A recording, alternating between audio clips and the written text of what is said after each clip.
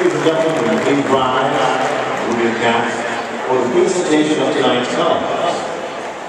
Please direct your attention now to the area behind second base, and let's welcome the West Point Cadet Color Guard.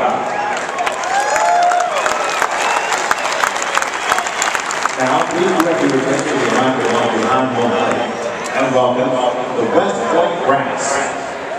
They will now perform our national anthem.